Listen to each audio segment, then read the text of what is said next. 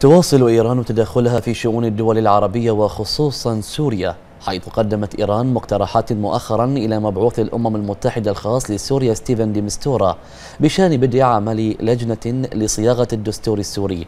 وقال مساعد وزير الخارجية الإيرانية للشؤون السياسية جابري أنصاري إنه بحث في طهران مع دي ميستورا المقترحات المتعلقة بلجنة صياغة الدستور في سوريا مشيرا إلى أنه قدم مقترحات حول بدء عمل اللجنة.